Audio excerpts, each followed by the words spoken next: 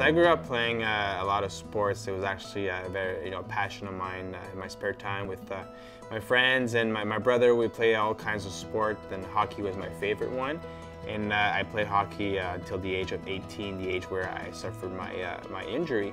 So sport and team sport has always been a big part of my life. so I got injured in 2003. Uh, I was working uh, part-time for my father's construction company, building residential houses, and I fell from the second story of a house right to the basement. I landed on my back and my head hit the floor, and I uh, fractured the sixth vertebrae in my neck and damaged my spinal cord, so became a quadriplegic uh, that day. It was great to find parasport. Uh, when I got after my injury, I think it took me about two years before I could uh, find a, a, new sport. I knew about wheelchair rugby a little bit, but at that point I wanted to kind of walk again and play hockey again, but that wasn't possible anymore. So when I found uh, wheelchair rugby, actually after seeing the movie Murderball, which was like you know a pretty uh, a good movie to showcase our sport, um, I you know I fell in love with the sport and I've been playing uh, for almost 15 years now.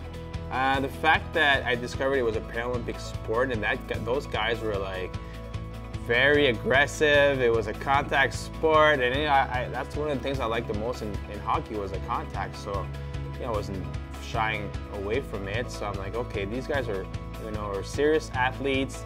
They're in shape, and a, a goal of mine was always to compete at the highest level. So why not try it in wheelchair rugby? Just to companionship too, of being back on a team with guys that also went through the same challenges as me in the past um, I think was very uh, important for me to find. And um, you know, just playing with the ball and scoring goals, something I really miss. So it did, yeah, I fell in love pretty quick with the sport. The fact that I played a lot of sports before my injury um, gave me a good background of different skills that I, I, I was able to uh, perfect or that I was, you know, playing uh, just the awareness on the court, offensively, defensively, gave me an edge when I started playing, playing wheelchair rugby because I had experience. So I transitioned pretty quick into the sport of rugby.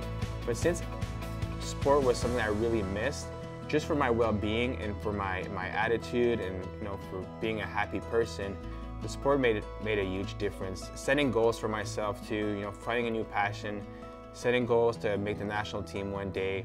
It just easier for you to wake up every morning and to, to go out there and train and have a purpose in life. And I've been fortunate, you know, playing, I'm heading into my third Paralympics and I travel, I must, must have seen about 15 countries uh, because of the sport and experienced different cultures. So it just, it made, it made a huge difference in my life.